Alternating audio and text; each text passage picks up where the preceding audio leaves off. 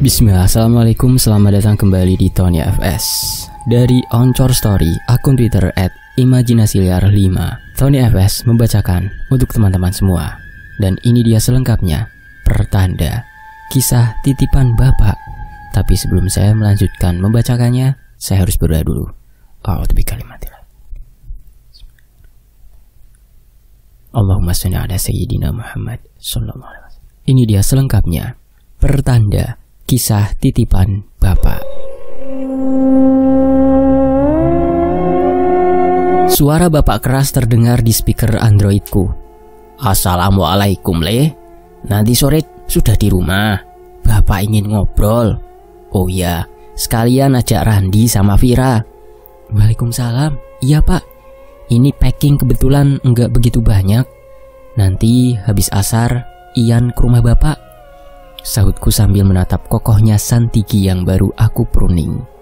Yo wes, kalau gitu bapak tunggu nanti sore ya. Assalamualaikum. Bapak mengakhiri panggilan sebelum sempat aku menjawab salamnya. Kembali lagi aku menerka. Mereka-reka. Biar pohon kerdil ini enak dipandang dari berbagai sisi. Santiki. Randi, Vira, ayo cepat, ntar keburu maghrib. Seruku ke bocah-bocah manis. Masih memakai sarung dan baju hitam kesukaanku ketika sholat. Nyek, pintu depan terbuka. Vira mana kak? Tanyaku melihat Randi buru-buru nyari sandal. Biasa ya, cewek, dandan. Seru Randi, anak pertamaku yang hanya selisih dua tahun dari Vira. Tunggu, Vira muncul dari pintu samping terlihat cantik tanpa bedak. Kami pun berangkat ke rumah bapak yang jaraknya tidak lebih dari 200 meter. Berdua berjalan di depan, sesekali bercanda. Iya, kami membangun rumah tidak jauh dari bapak dan ibunya Fani, istriku. Memasuki halaman rumah bapak, kedua bocah manis langsung teriak, Akung, Uti. Akung adalah panggilan sayang mereka kepada kakeknya, yang sebenarnya dari kata Eyang Kakung dan Uti dari kata Eyang Putri. Mereka berlari mendekap Akung dan Utinya yang sedari tadi sudah membuka tangannya seolah sudah kangen berat. Mereka duduk di pangkuan Akung dan Uti. Memasuki halaman rumah bapak memang nampak asri. Apalagi masuk ke taman di samping tempat mereka bercengkrama sekarang. Sebuah taman yang dibatasi tembok di ketiga sisinya. Dilapisi batu belah dari depan nampak tertata elok. Sebuah paludarium sedang tertata indah dengan bebatuan dan bonsai yang ditata menyerupai hutan tropis. Ditambah lagi asap mesin kabut mini bergerak mengayun seiring air menetes dari puncak tatanan batu alam.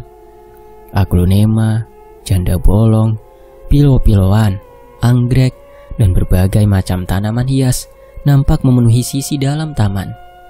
Paling pinggir terdapat sebuah aviari seukuran bak truk, lumayan besar, dipenuhi berbagai macam burung yang bersahutan berkicau dan manggung. Assalamualaikum pak, seruku sambil memasuki taman samping rumah. Terlihat cangkir teh yang tersisa sepertiganya. Kebiasaan bapak dan ibu yang sering aku lihat di kala pagi dan sore. Waalaikumsalam, saud bapak dan ibu. Sinian, duduk. Eh, Randi sama Vira hari ini udah jalan belum? Kalau belum, Uti punya jajan tuh di dalam. Sana, ambil sama Uti. Seru bapak, seraya melepaskan Randi dari pangkuannya. Ya, namaku Rian. Sedari kecil sering dipanggil Ian. Mungkin waktu itu aku belum bisa mengucap R. Ayo, sambung Uti sambil menggandeng tangan Randi dan Vira masuk ke dalam. Tinggal kami berdua.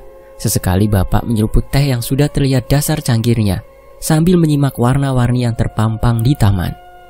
Aku menggantikan ibu yang sedari tadi sudah merasakan kursi kayu jati berbalut spon tipis di teras taman.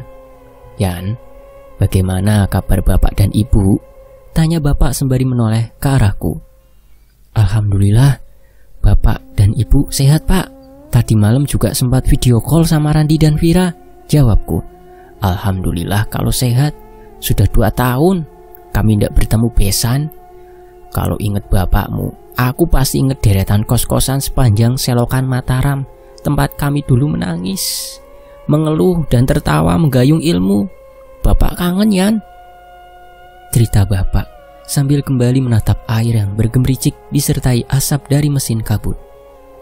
Ayahku dan bapak mertua adalah sohib seperjuangan menempuh pendidikan sarjananya di kota Yogyakarta. Kakekku asli Solo mengadu nasib menjadi perantauan di Pontianak. Bapak, pengen ke Pontianak, Yan. Pengen ketemu bapakmu. Sembari kembali bapak menoleh ke arahku. Iya, Pak. Jawabku pasrah atas keinginan orang tuaku. Bapak juga kangen sama keluarga di Lampung, keponaan-keponaan. Sekalian ziarah ke makam Mas Bram dan ibumu juga pengen ketemu adiknya. Sambung bapak seraya melirik kepadaku. Ya, bapak mempunyai saudara kembar, namanya Pak De Bramantio. Sedang bapak sendiri bernama Rahmantio. Sering bapak bercerita mereka berdua selalu bersama ke mana pun pergi. Namun kisah hidup membawa Pak Debram ke Lampung setelah menikahi adiknya ibu. Iya, istri Pak Debram adalah adik dari ibu mertuaku. Le, kita ngobrol di atas saja. Bapak belum kasih makan ikan. Sembari bapak beranjak dari tempat duduknya dan mengambil satu ember kecil berisi pelet. Kami pun menaiki tangga kayu. Kayu merbau, bekas bantalan kereta yang disusun rapi dengan finishing kusam transparan. Tangga itu membawa kami berdua ke sebagian atap rumah yang didesain menjadi taman dan kolam koi oleh bapak. Kuning, emas, merah, hitam, putih, berbagai warna koi yang sudah segede lengan, bahkan ada yang sebesar paha, terpampang di kolam yang dihiasi gemericik air. Di sebelah pojok terdapat genset yang sewaktu-waktu dipergunakan jika listrik mati dan solar baterai sudah kehabisan arus. Sambil menaburkan pelet segenggam demi segenggam, Bapak menyambung pembicaraannya.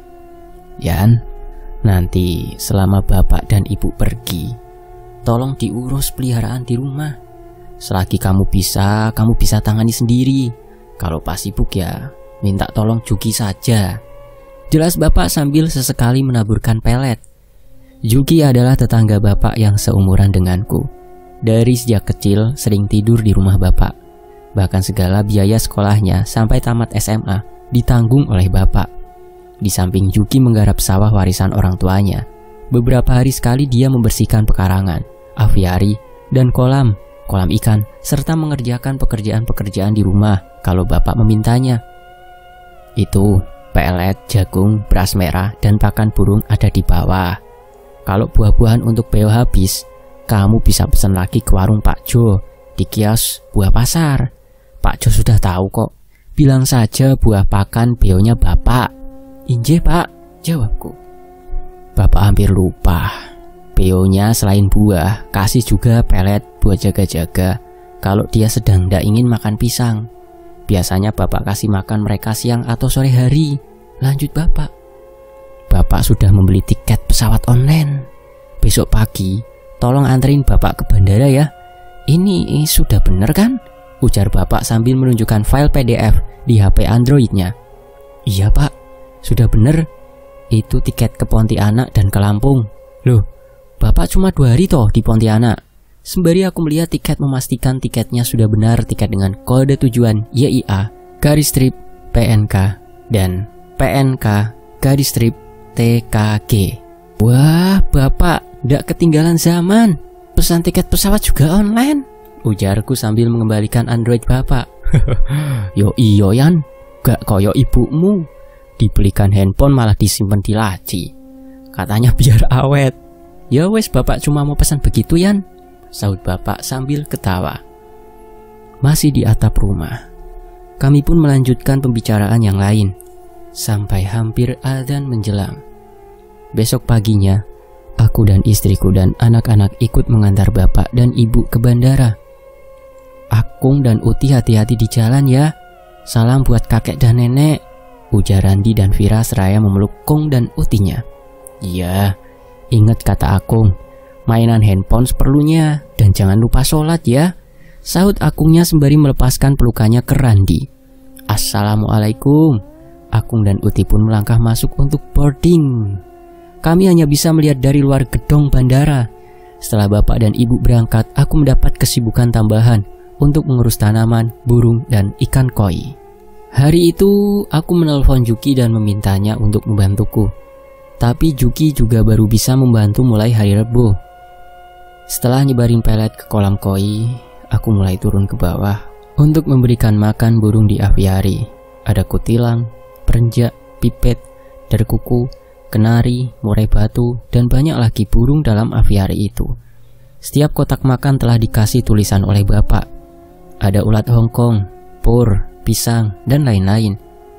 Di dalam aviari ada tiga buah kandang burung besi yang berisi burung beo, yang cerewet dengan segala ocehannya, mulai dari Assalamualaikum, Assalamualaikum Akung Uti, Pancasila, dan lain-lain.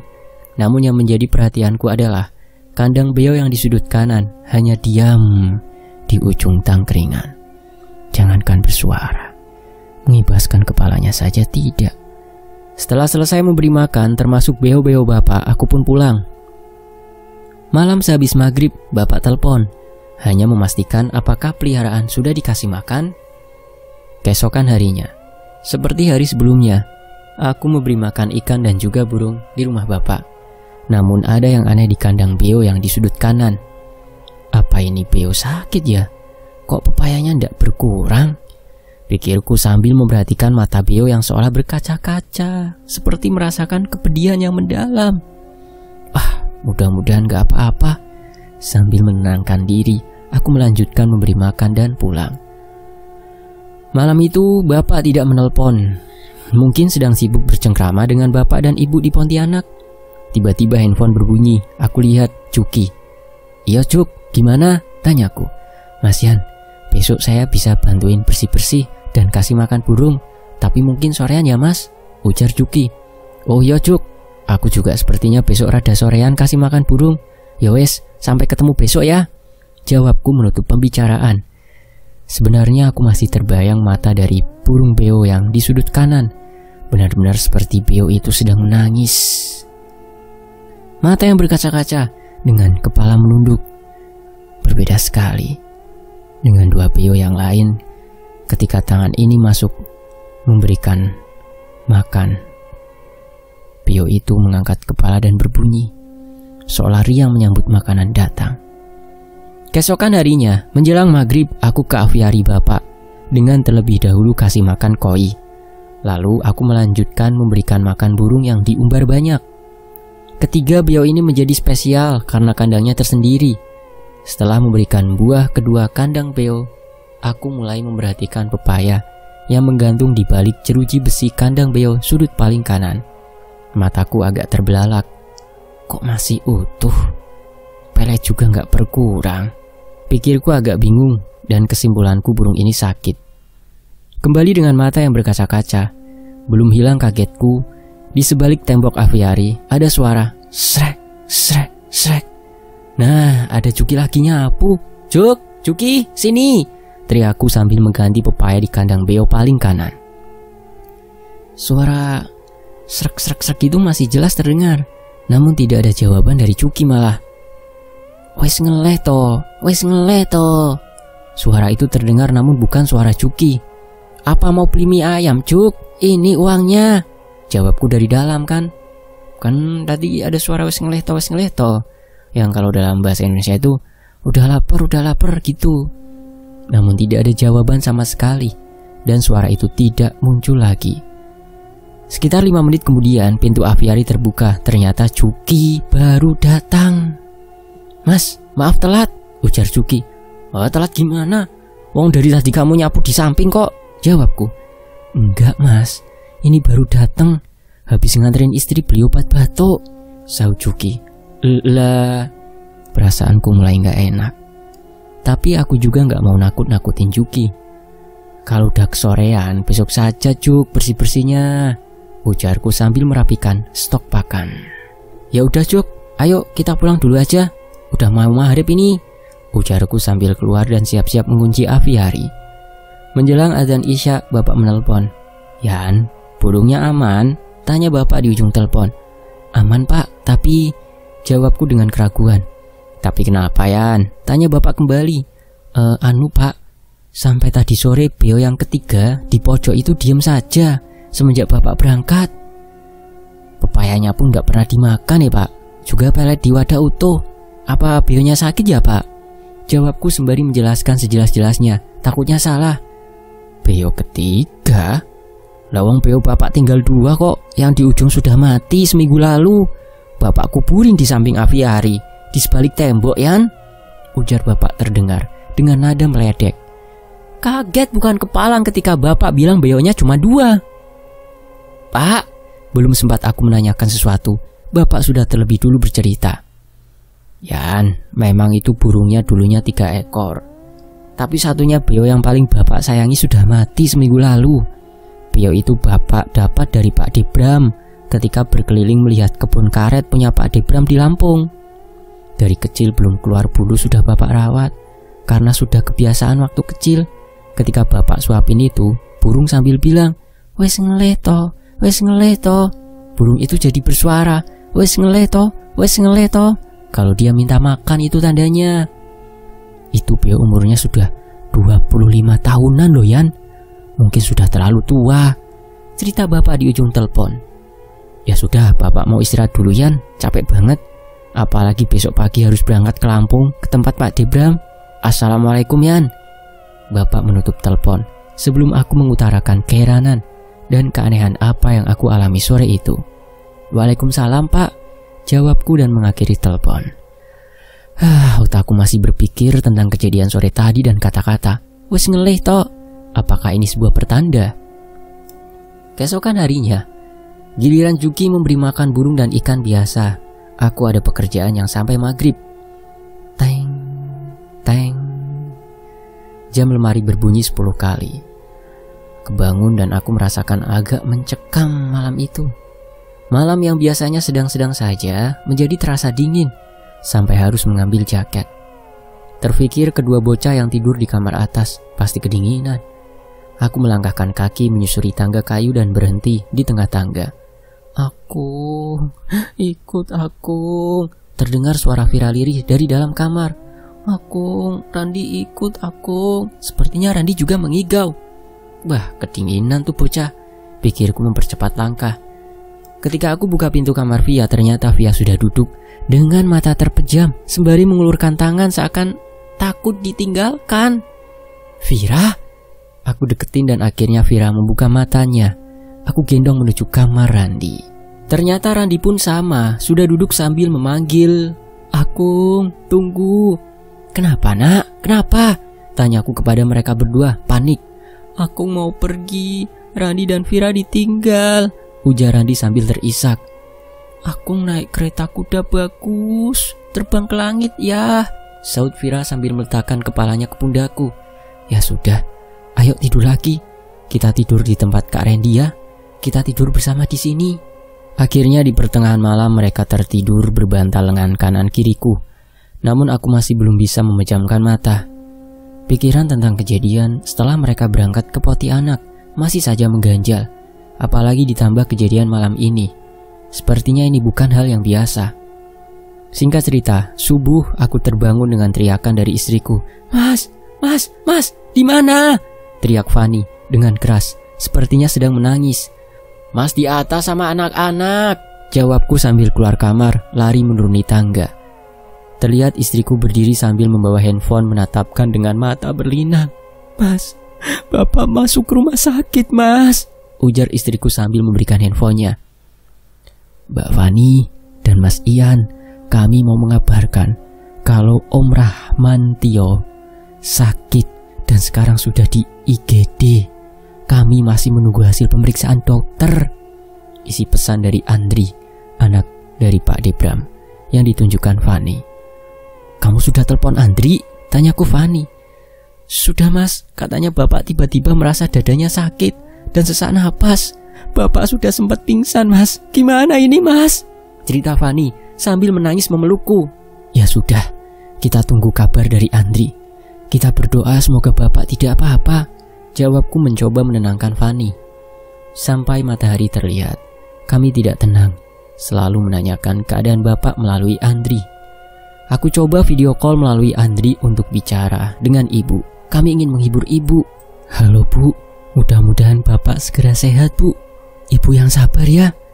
Kataku menghibur ibu yang terlihat diam dengan matanya sayu dan berkaca-kaca. Kejadian di sore itu tentang Beo teringat kembali dengan matanya yang berkaca-kaca. Nggih, pun, ibu istirahat dulu bu. Ibu juga perlu menjaga kondisi badan. Ampun kesupen daring nggih bu. Assalamualaikum. Aku mengakhiri obrolanku dengan tanpa sepatah kata terlontar dari ibu. Ibu diam saja. Menjelang siang, aku ke rumah bapak untuk memberi makan koi dan burung. Betapa kaget ketika aku membuka pintu aviari dan lagi-lagi mataku melihat ke arah kandang beo di sudut kanan. Hanya ada pepaya yang masih utuh dan pelet di dalam wadah.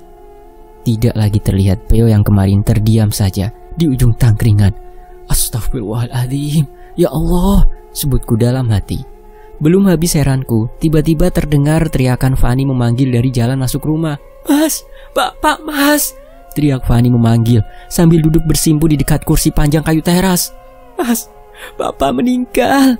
Lanjut Fani sambil menangis jadi-jadinya. Innalillahi wa inna ilahi roji'un. Aku berucap seraya memeluk kepala Fani, mendekapnya di dadaku sambil kucium rambutnya. Yang sabar ya pun, sabar. Allah mencintai Bapak. Allah ingin Bapak kembali, kembali lebih dekat. Allah menyayangi Bapak pun, kataku pada istriku. Semoga Bapak mendapat tempat paling baik di sisi Allah Subhanahu wa taala dalam dimensi keesaannya. Amin amin ya robbal alamin. Tuma ila Pak Rahmantio Al-Fatihah. A'udzubillahi minasyaitonirrajim. Iya kan arbudu ya kan nasta'in. Ihdinas siratal mustaqim siratal dolin Robbi firli amin dan demikianlah pertanda dari Bapak. Sebuah kisah dari Oncor Story. Tony FS pamit. Terima kasih Mas Oncor Story at Imajinasi Liar 5 dan tentunya terima kasih buat teman-teman yang sudah menyimak kisah ini di sini. Semoga ada hikmah ya dari kisah ini. Saya pamit. Wassalamualaikum. Sampai jumpa di kisah lainnya. Hanya di Tony FS Alhamdulillah Ah!